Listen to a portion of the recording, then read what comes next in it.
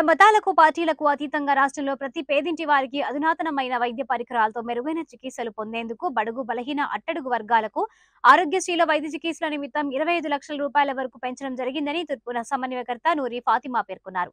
తూర్పు నియోజకవర్గంలోని IPD colony పదిహేను పదిహేడు వార్డులలో ఉన్నటువంటి అర్బన్ ప్రైమరీ హెల్త్ సెంటర్లో అర్హులైన వారికి నూతన ఆరోగ్యశ్రీ కార్డులు నూరి ఫాతిమా చేతుల మీదుగా పంపిణీ చేశారు. ఈ కార్యక్రమంలో ముఖ్య అతిథిగా పాల్గొన్న ఆమె మాట్లాడారు.